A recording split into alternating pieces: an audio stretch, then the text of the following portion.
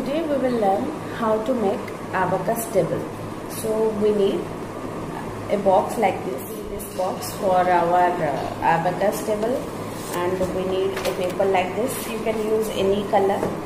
We need one marker and we need scale, gum and we need seizure and one pencil also we need. So uh, let's get started. Let's wrap it first. Take some gum, paste it here. Put some gum on the top so it will spread it. Now I am folding the paper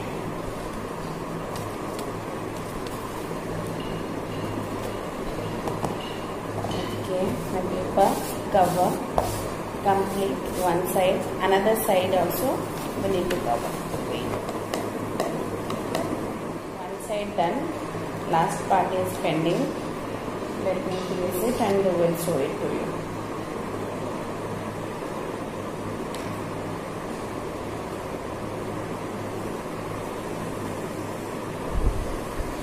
If something coming out you can cut that one no problem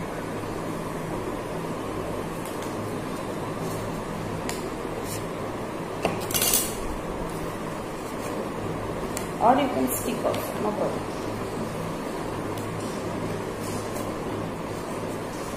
One side done let me finish top part. Let's make a cut. Let's make another cut. On the sides we need to cut so it will stick easily. Done all the cuts are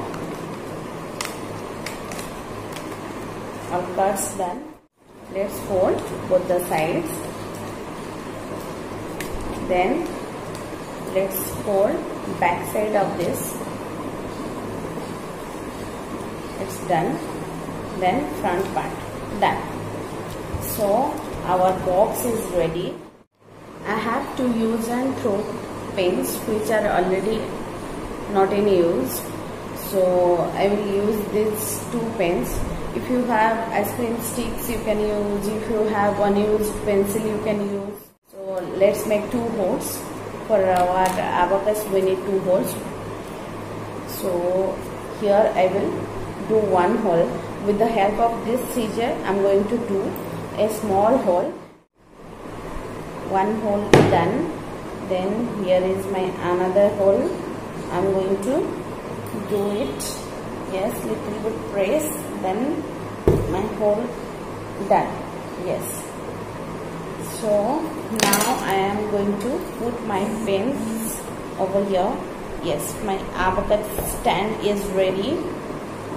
Okay.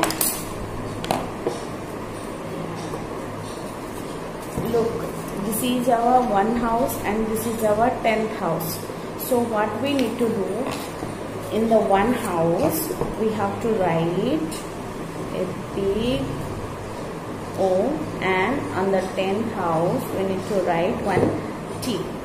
You need to do it like this. Just have a look in this. This is our one house and this is our tenth house. So yeah our abacus stand is ready now suppose we are telling a kid to uh, add 3 plus 2 we need to put 1 2 3 then we will tell the kid to put 2 more. So let's put 2 more. 2 and let him count 1 2 3 4 the method how to make your abacus table you just do it uh, at your home and um, make fun with your kid